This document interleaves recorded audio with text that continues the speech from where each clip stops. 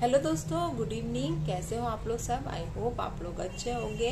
मैं भी बहुत अच्छी हूँ दोस्तों।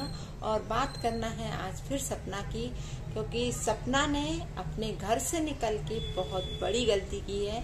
और कल जो मैंने वीडियो डाला था, उस पर भी कई लोगों के कमेंट आए हैं कि कितना भी कुछ हो रहा था लाइफ में आप, जो भी लड़ाई झगड़े चल रहे थे आपके घर में, लेकिन आपको घर से नहीं निकलना था। क्यों नहीं निकलना था? मैं आपको एक बात बताती हूँ कि ससुराल आपका था, आपकी बेटियों का पूरा पूरा हक है और आपका खुद का हक है, क्योंकि आप उनके घर की बहू हो, है ना? उनका कोई राइट नहीं बनता आपको घर से निकालने का, ये और यदि आप निकल गई हो तो ये आपने अपना खुद का ही नुकसान किया है। सीधी बात इस तरीके से नुकसान किया है कि अब आपको कोर्ट कचहरी करनी पड़ेगी, केस करना पड़ेगा, तब जाके आपको अपनी बच्चियों के लिए राइट मिलेगा। यदि आप वहाँ रहती रहती ना तो किसी के भी बाप में दम नहीं था कि वो आपको निकाल पाए, मैं आपको बता दू। किसी, आज ये गलती मैं क्यों बोल रही हूँ कि ये गलती मैंने खुद करी थी। इसलिए उस एक्सपीरियंस से मैं आप लोगों को बता रही कि मैंने भी यही गलती करी थी। मैं भी अपनी दोनों बेटियों को लेके निकल आई थी वहाँ से। मैंने ये, यदि मैं आज अपने घर में, ससुराल में रहती रहती तो शायद किसी में दम नहीं थी कि वो मुझे वहाँ से निकाल पाती। है ना, मेरी सासू जी। लेकिन ये उस समय मुझमें समझ नहीं थी, ना समझी में मैंने ये कदम उठाया था। तो सेम सिचुएशन मैंने अभी देखी, सपना की कि उन्होंने भी यही कदम उठाया है कि वो अपने ससुराल से अपना सामान लेके आ गई और अपनी बच्चियों को लेके आ गई। तो ये गलत था। मुझे नहीं लगा ये सही, शायद हो सकता हो आप लोगों को ये चीज़ बुरी लगे, लेकिन जो चीज़ सही है सही है कि सपना को नहीं निकलना था। कुछ भी हो रहा था। आप जैसे रेखा है, मानसवी ब्लॉक, वो भी रह ही रही है ना आज अपने ससुराल में। कितने कुछ है, कम से कम वो एक बच्चियों का हक, बच्चे का अपनी बच्ची जो भी उसकी, उसका हक समझ के वहाँ पर रह रही है। तो आप भी वही रहते। अब है ना क्या होगा कि कल के दिन आपको ये सारी चीज़ें करनी पड़ेंगी। यदि आप राइट्स मांगोगे अपनी बच्चियों के लिए सब कुछ तो काफ़ी लंबा, वो पता है केसेस वगैरह कौन ने जानी कितने लंबे चलते हैं? आप क्यों टेंशन पालने का था? इससे अच्छा आप वहाँ रहती अपना यूट्यूब चैनल आपका चल ही रहा था, आपका अर्निंग का साधन था ही। आप शांति से बस अलग हो जाती उसी मकान में। लाख बड़बड़ाते कितने दिन के होते हैं? हाँ सास ससुर, ठीक है, आज है, कल है। कितनी उम्र हो, कितनी रही, सही कहते हैं ना, कितनी बची है उनकी राम जाने ये है। तो इससे अच्छा कल के दिन आपका ही सब कुछ होता। आज तो ये है कि आप बोल रहे हैं कि मथुरा वाला घर फला फला ढेरों बातें जो उनके वीडियोस में सुनाई दे रही हैं। क्या पता किसको दे जाएँगे हो सकता है रिश्तेदार छीन ले उनके सारी चीज़ें। हो सकता है रिश्तेदारी उनके कान भर रहे हो, जो भी उनकी बहनें हैं, जो भी है, उनके कान भर रहे हो तो। और कई लोगों की क्या रहती है प्रॉपर्टी पे नज़र रहती है रिश्तेदारों की। कह रहे यार, बहू है अब बच्चे, बेटे तो बचे नहीं है, बच्ची ही बच्चियाँ हैं। तो ये निकल गई तो सारा कल के दिन बुढ़ापा है ही दोनों सास ससुर का ये नि, निकल जाएँगे ऊपर की ओर तो आराम से पूरी प्रॉपर्टी हम लोगों की हो जाएगी। ये है। तो यहाँ पर भी सेम सीन मुझे यही लग रहा है कि आपके सास ससुर के बहुत ही बुरी तरीके से कान भरे गए हैं जो और जो ये कान भरने में सिर्फ़ रिश्तेदारी सर्वप्रथम होते हैं और कोई तो नहीं होता क्योंकि हम तुम तो जाके कोई उनके कान नहीं भरेगा। कान भरेंगे उनके ही आसपास के लोग कान भरेंगे उनके रिश्तेदारी। मैं सही बोल रही हूँ ना दोस्तों? तो यहाँ पर सपना को ये था, सपना अलग हो जाती, सपना अपना जो भी खाना वगैरह है, सब अपना अलग बनाने लगती। सब एट लास्ट यार, बच्चियाँ हैं, कभी तो प्यार आता उनको उन बच्चियों पे। कभी तो सोचते हैं वो लोग, वहीं रहते रहते। आज आप बच्चे को लेके अलग हो गए तो अब उनकी सारी रिस्पॉन्सिबिलिटीज हट गई, सारा कुछ हट गया, वो अब देखेंगे भी नहीं। ये मैंने, मैं अपने एक्सपीरियंस से बोल रही हूँ बार बार बोल रही ना, मेरे साथ भी। आज मेरी सासू जी कोई मतलब ही नहीं रखती है मेरी बच्चियों से।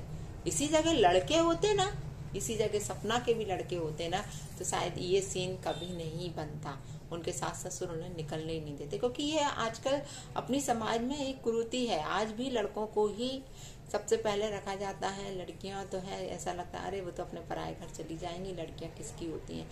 ये है। तो इसी जगह लड़का होता तो आराम से उसको रख लेते, ना निकलने देते, बल्कि हाथ पैर जोड़ते। ये चीज़, ये सीन बनता। लेकिन अभी जो सीन बना है, वो सीन में सिर्फ़ मुझे सपना का ही नुकसान लग रहा है। उनके सास ससुर का क्या नुकसान है? सपना खड़े पैर निकल गई वहाँ से आए, अपना सामान लेके निकल गई। यदि यूट्यूब देखो यूट्यूब सोशल मीडिया ऐसा है, आज चल रहा है, कल नहीं चल रहा। है किसी ने जाना कि यूट्यूब कोई परमानेंट तो कमाई वाला साधन नहीं है ना कि ये शुरू करा तो ता ज़िंदगी यूट्यूब से ही सब कुछ चलेगा इनका।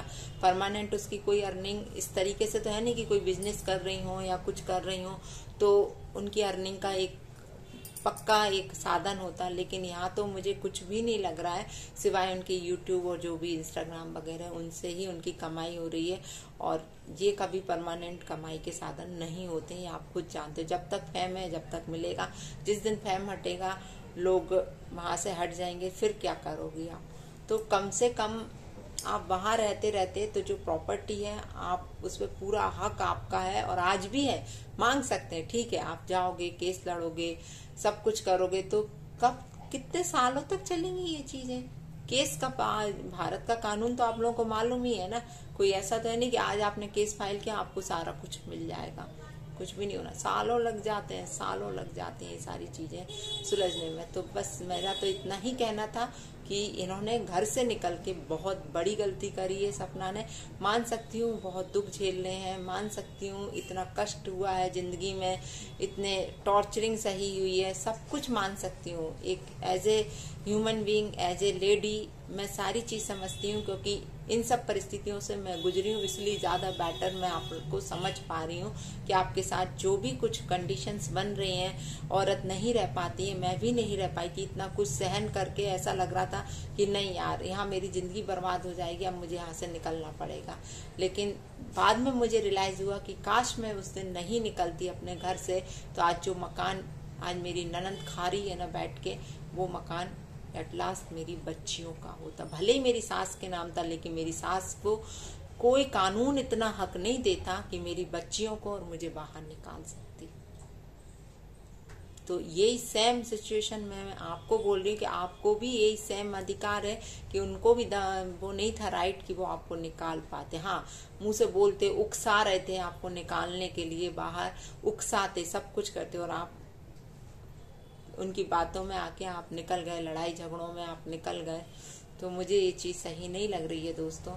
मैं सही बोल रही हूँ या गलत बोल रही हूँ तो प्लीज़ प्लीज़ कमेंट करके ज़रूर बताना और सपना ये वीडियो आप देख रही हो।